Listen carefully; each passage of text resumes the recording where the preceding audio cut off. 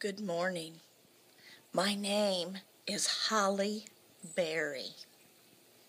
And I am kind of like a overgrown elf on the shelf.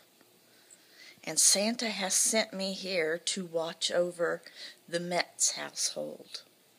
I can't wait for Terri to get out of bed. She's going to be so excited to see me. Anyway, did you know she's having an open house here at her house on Saturday from 10 to 1.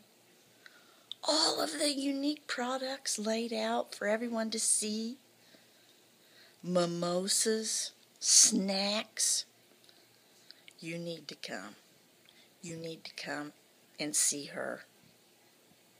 Spread a little holiday cheer. Maybe I'll even be here. I'll try to be good. Happy holidays!